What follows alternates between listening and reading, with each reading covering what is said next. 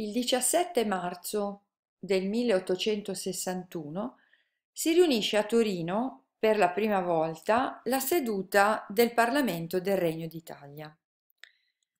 La maggioranza di questo Parlamento era formata da liberali che presero immediatamente due decisioni. Estesero lo Statuto Albertino a tutto il Regno d'Italia e lo stesso fecero con la legge elettorale. In pratica potevano votare soltanto i maschi adulti che sapevano leggere e scrivere, che avevano un certo patrimonio e che quindi pagavano una certa quota di tasse. Questo tagliava fuori molta della popolazione. Si è calcolato che su circa 22 milioni di cittadini potevano votare in 628.000. Chi rimaneva fuori? Beh, tutti gli analfabeti, che eh, in questa metà del 1800 erano tantissimi, tutti i contadini ad esempio, ma anche parte di quel ceto medio delle città che pur essendo magari eh, benestante, con un buon lavoro, non riusciva però ad arrivare al reddito, al censo richiesto. In realtà i democratici avevano proposto il suffragio universale maschile, ma come ti ho detto prima, i democratici erano una netta minoranza in Parlamento e quindi la loro proposta eh, fu respinta. A questi liberali del primo Parlamento italiano fu dato il nome di destra storica.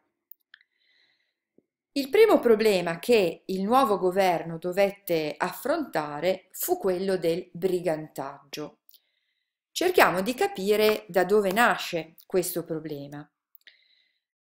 Non era sufficiente dire adesso eh, tutto il territorio eh, conquistato fa parte dell'Italia, è l'Italia, perché bisogna pensare alle enormi differenze che c'erano ad esempio tra la popolazione piemontese e quella dell'Italia eh, meridionale.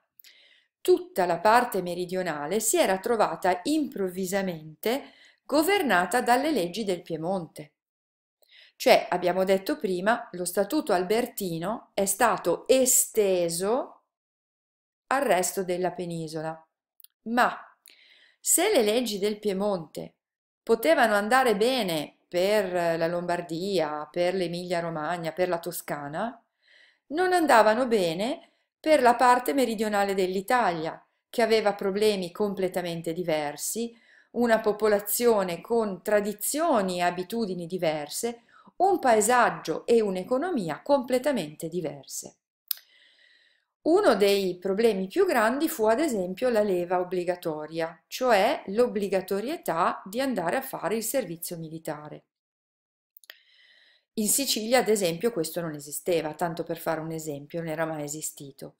Qual era il problema? Il problema era che la leva eh, obbligatoria toglieva dei giovani al lavoro dei campi e questo sì creava problemi a una vita contadina già molto difficile.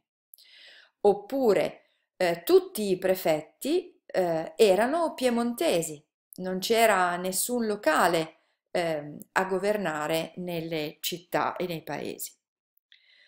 Come reazione a questo stato di, di malcontento si formarono in tutto il meridione delle bande di, di ribelli che si unirono a quelle bande di briganti che già comunque esistevano. Chi erano questi ribelli? Erano i contadini che magari scappavano per non dover prestare il servizio militare, erano eh, ex soldati dell'esercito borbonico, erano insomma tutti quelli che non volevano mh, sottostare alle leggi piemontesi.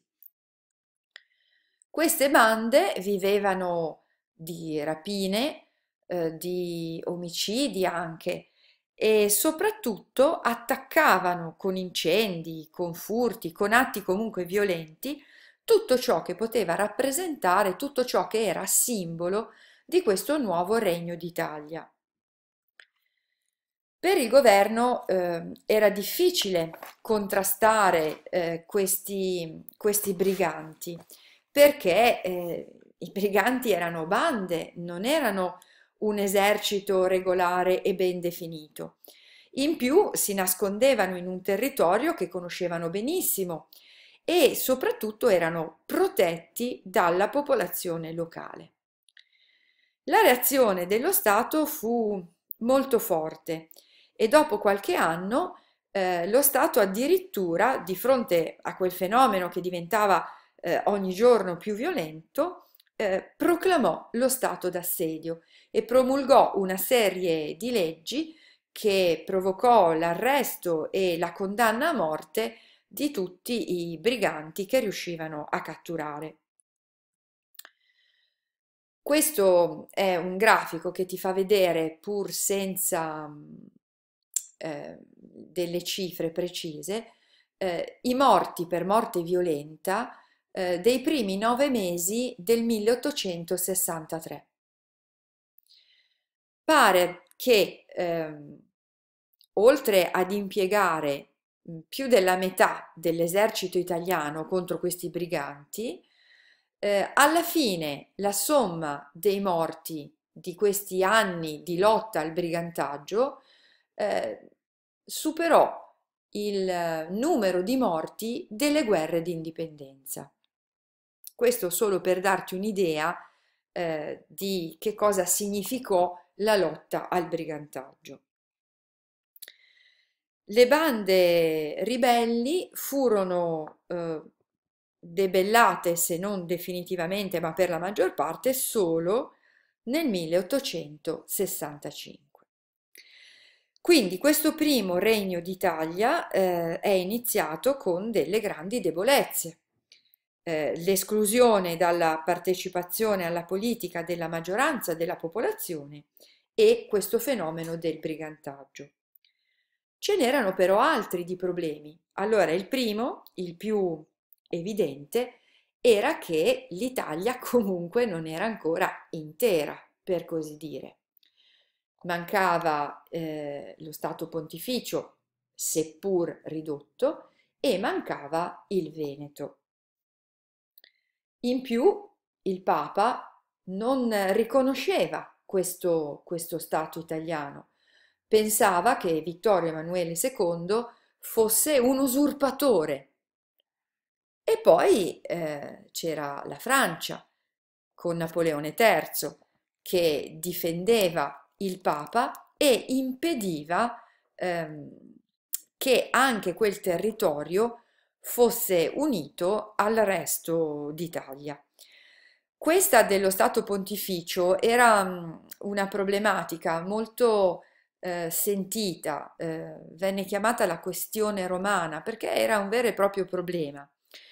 Ehm, questa è una, una vignetta, una stampa dell'epoca che fa vedere come la parte settentrionale dell'Italia sta tendendo una mano alla parte meridionale, queste sono delle maschere del carnevale, qui puoi riconoscere Pulcinella, ma questo allacciamento delle due mani è impedito dallo Stato pontificio. Addirittura i simboli eh, del papato, la tiara eh, e le chiavi, sono mh, sulla testa di, di, su un teschio.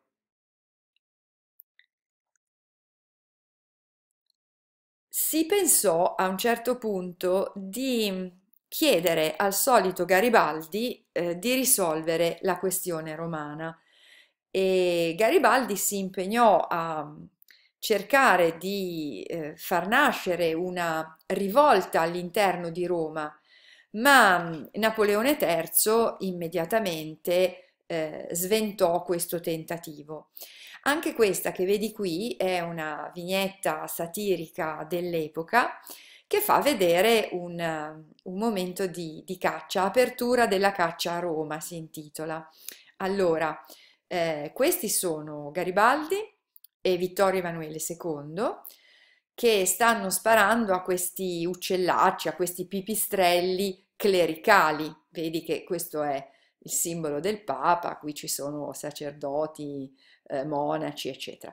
Questo è eh, Napoleone III che sta correndo eh, eh, per cercare di far smettere eh, questa caccia.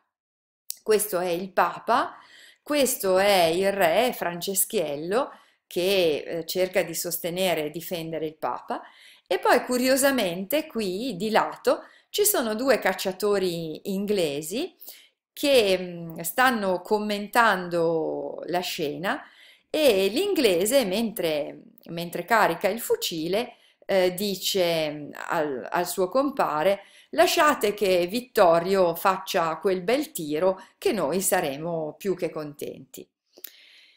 In realtà ci vorrà ancora qualche anno per risolvere la questione. Nel frattempo, momentaneamente, la capitale fu spostata da Torino a Firenze nel 1864 in attesa di tempi migliori.